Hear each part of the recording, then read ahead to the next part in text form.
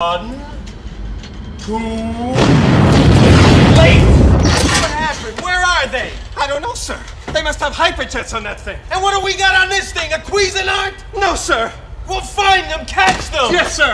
Prepare ship for light speed. No, no, no. Light speed is too slow. Light speed too slow? Yes, we're gonna have to go right to ludicrous speed. Ludicrous speed. Sir, we've never gone that fast before. I don't know if the ship can take it. What's the matter, Colonel Sanders?